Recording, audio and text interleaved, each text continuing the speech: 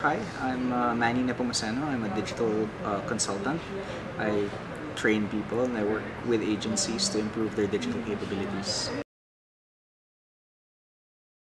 We had a, a fairly long discussion, Peter and I, about the difference between a regular creative and a digital creative. And the answer ultimately has to do with output.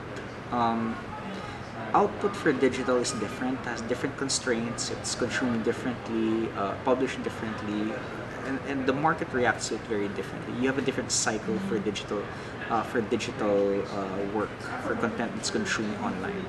So when you are a digital creative, you are savvy about all the differences, or at least a significant portion of those differences uh, between, you know, regular uh, content and digital content. So, for example, if you know something's going out on just YouTube or on YouTube as part of a bigger campaign, you can purposely adjust the content so it works on YouTube.